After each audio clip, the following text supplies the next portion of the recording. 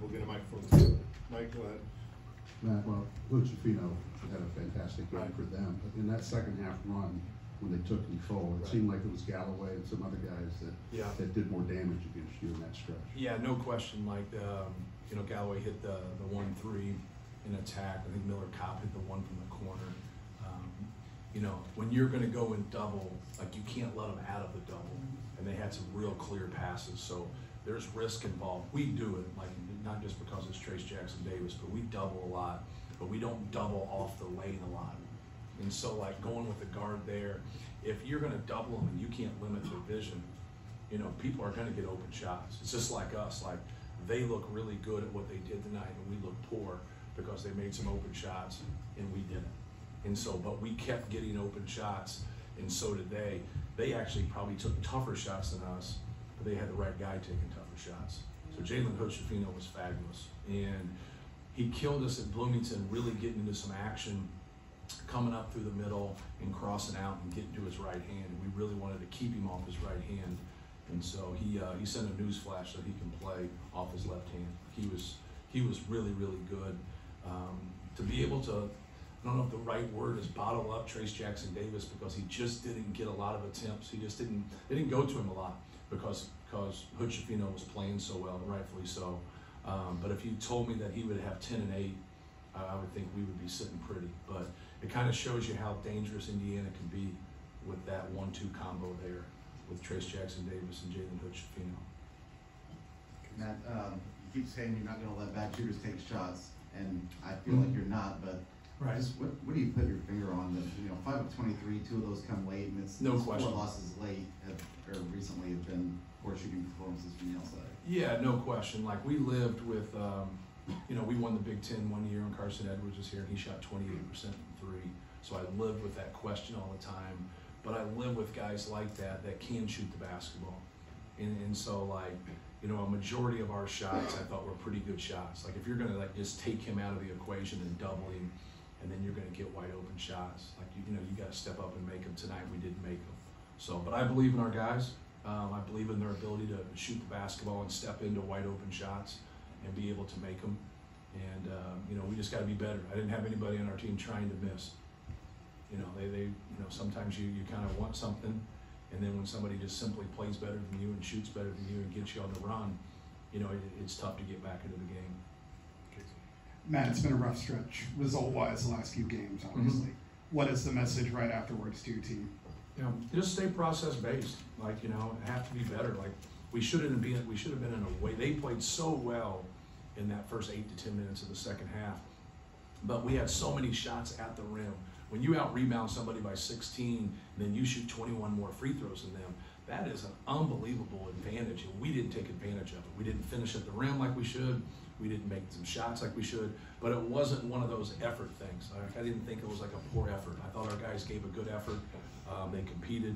Um, they, they were better than us. They, they made shots and, and, and we didn't. So we got to be able to fix that. But um, for the games that we've had this year, you out rebound your opponent by 16 and the turnovers are about equal, and you're getting 21 more free throws. Like, I'll, I'll take that every single game. You gotta, you know, you gotta make a couple, and you, you just can't get down and then expect to make a run if you can't get stops, right?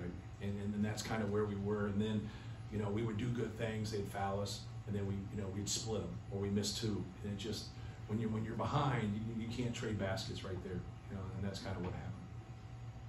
Coach, uh, IU obviously they started the second half strong and kind of pulled away, but why has this team struggled to hold on to leads in the second half? Ours, Yes. You're you're talking about a four-point lead to start the second half? I just thought they played better. I wouldn't say like holding on to, I don't know what game you're, you're, you're talking about, but, um, you know, when you're in that position and you're, you know, you're starting the, the second half, just like closing out the first half, like we make a big three, Brandon makes a big three right there. We have a nice play right away. Uh, Zach makes a nice pass to Caleb, you know, we get a dunk or a layup. And then they just kind of went on that run.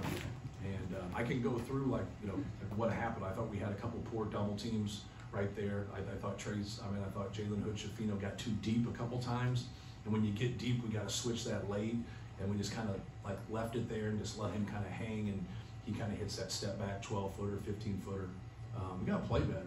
you know, more than anything, they, you know, give Indiana credit, they played better than we did. Coach, I think I'd, over here in the corner, um, Thank you, sir. I think it'd be safe to say, you know, this IU Purdue rivalry is as alive as it's been in, in a few years. Yeah. With, with how intense that Purdue IU matchup has been in both games this Mhm. season, you know, what does that do for the fans? And then also, how does that play into, you know, how basketball just means more in the state of Indiana? Yeah, well, we recruited the states really hard, and um, and we got a lot of guys from Indiana on our team, and obviously, you know, getting swept, you know, by them is not something that you know we want to have on our resume, but we do, and um, you know, it's just.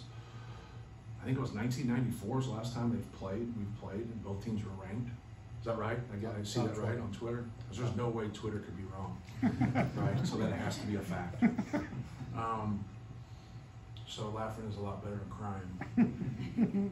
But, um, no, I think it's great. I think it's, you know, I've, I've had opportunities to leave, and one of the things that I always think about if I leave and I'm not the coach at Purdue is I, I can't walk back into Assembly Hall and compete against them as the head coach at Purdue, and that bothers me.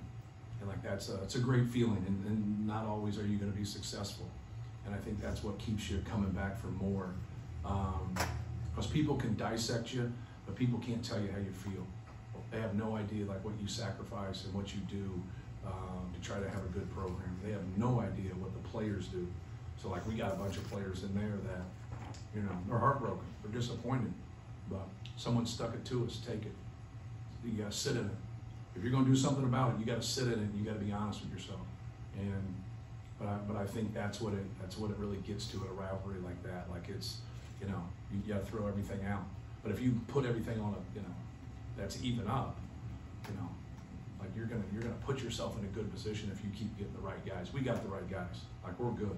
Um, but you know, it's coming down here the stretch, and you know everybody wants to play well, and everybody's kind of jockeying for position for either win the Big Ten or get in the NCAA tournament. And you know you got to play for keeps. You got to you know we got to produce a little bit better than we did tonight. What did Brandon give you tonight, and Right. how much do you need him now down the stretch here Yeah. to have, have similar performances? Yeah, well, I thought, you know, he, he really played hard. You know, I thought he did some really good things on Hood-Schifino, and he made a couple. Um, Hood-Schifino missed a couple shots that went in. No, it sounds crazy. huh, guys? but like he like hit, I was right there, in the ball, I'm like, hey, that's off, and then the hit there, boom, boom, boom, and it went in. Uh, but when it's your night, it's your night. But I thought Brandon did some really good things. I thought he was competitive, um, took on the challenge. Um, obviously, he makes that big shot at the end of the first half. Um, but no, I you you just got to stay with it. You know, you know his thing is consistency. You know, if he, he gives that kind of effort and that um, kind of focus, you know, he's really going to help himself because when you can guard him, you can make open shots with our group and with Zach. You know, we, we have to do a better job of complimenting Zach Edey. You know, I think that's a very obvious statement, but we, we have to do a better job of complimenting him. Matt, sorry, back here. Go ahead, thank you. Sorry, going back to Hood-Schifino, when he's capable of scoring at multiple levels, what is Right. what is difficult about basically getting him to play faster than he wants to, Yeah. getting him off his pace, I guess. We're in a little different position because we can't get aggressive with Zach and some of those ball screen things. So we can get flattened to a drop, if that makes sense to you. Um, we can get up. If you get up with Zach, then we're, we're susceptible to those flip ups that Trayce got in Bloomington, those flip up lobs. You know, and so like Zach, like you got to understand that. So we were trying to keep him away from that, and we did. Like look at Trayce Jackson's involvement in the game in the first half. Like I know he got a couple fouls, but like he would, you know, he Hood played so well, they didn't even go to him. Like they went to him the first play, we made a steal, and like they went to him a couple more times because they didn't have to. Um, but no, we, um, you know, he, he, he's tough. I don't know if we see him again. Like that, that's that's impressive. Very few people have rolled through here and done that, if anybody. That was 19 years old. Like that, that was impressive what he did. Like think about his easy baskets that he had. He might have had one, had that one layup in front of me. Think about it. He scores 14 field goals. He's a 6'4", 6'5 guard. Like you know, he made tough shots all night. I know there's a lot of people here, but when you can go left and you can go right and you can make the, you get to your kill spots and make those pull ups and pass the basketball because he's a willing passer. Like he's not one of those guys that if you take his shot away, you do whatever, like he's going to be frustrated and take bad ones. Like he'll just play a role then and distribute the basketball, and that's he, he's got a bright future because guys that can do that consistently, make tough shots, and distribute and make his team better. you know, there's not very many guys like that out there. Sam and then Mike. And I'm sure you'll trade a a loss to Indiana for wins in the NCAA tournament. You got two freshmen who, you know, Right. received a lot of praise for most of the season, and I don't think they've probably struggled a whole lot in their basketball careers up to this point. Right. What do you hope that they learn from these struggles that help you win an NCAA tournament? Yeah. You know, just stay with it. Uh, that's what I told him afterwards. I said, like, don't, like, be honest about the film, be honest about what happened, um, and, and stay with it. Like, you know, keep taking your shots, keep taking good shots, keep being aggressive. Um, you know, they're, they're both very, very good players. They have a lot of responsibility for young guys, you know, on our team.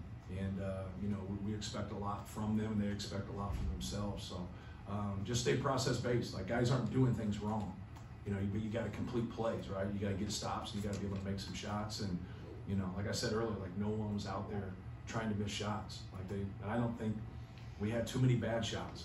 You know, we, we just got to be able to complete plays, and both of those guys have done a lot of really good things for us. They just got to, you know, stay consistent.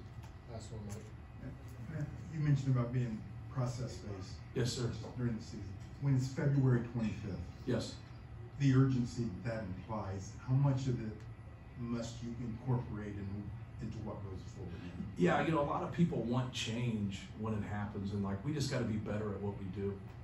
Like when you go forward, a lot of people are like, well, that that's not working. It's like, well, what they did tonight, like that that's working.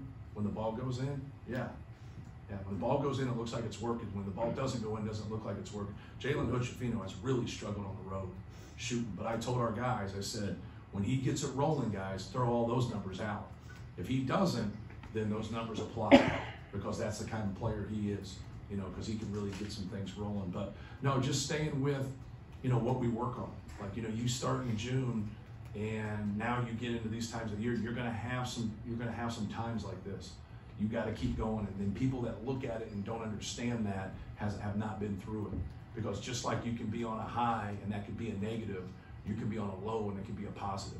Like you've seen guys struggle and then be able to turn things around. I mentioned Carson Edwards before, and he had struggled shooting in his last couple games of the season, even though we clinched uh, a tie for the Big Ten title. And then we got beat in the quarterfinals of the Big Ten tournament. He, he struggled again. And those guys were like, man, what are we going to do? I said, we're not going to do anything different. And they go, but what, you know, what's the issue here? I said, we got a bunch of makes coming our way. And so that's I, I believe in guys that can shoot. Like I the guys that I've recruited and I've looked at, I personally go out and recruit a lot. I go and watch them. I get their numbers. I, you know, those guys can make shots. Like I'm not worried about that. Um, you get worried about if that happens at the NCAA tournament, right? Because you got to be able to make shots. You got to be able to do that. But what are you going to do? Give a speech about it? Like you got to stay process based and you got to keep working. You got to keep putting in the time. And our guys do that. So I'm you know, I'm supportive of them and, and stand behind them, and I, I think we're gonna, you know, be better because of it. It's the only way to do it. It's the only way to, you know, keep an attitude like that, and then have that trickle down to your whole team, you know, yelling and screaming and going crazy because guys are doing what you ask them and they're playing hard. They just missed open shots. Like that's not gonna get you anywhere. So thank you. Thank you. Thank you, Matt.